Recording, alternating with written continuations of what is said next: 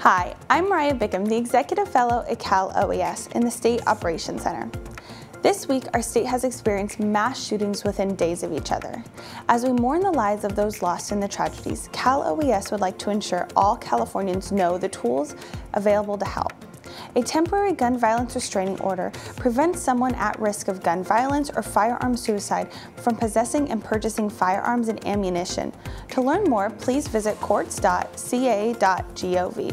Also, this week, following a series of nine damaging storms, Cal OES is leading efforts to help communities rebuild and recover. Disaster recovery centers are opening in counties across the state to offer information on available resources to homeowners, renters, and business owners who sustained damage to their property from the recent winter storms. Finally, work is underway to clear down trees, mudslides, and debris from communities across California. Cal OES is coordinating with the California National Guard, local and state partners to rapidly clean up the impacted area. Check your county for information on debris collection centers and curbside pickup options.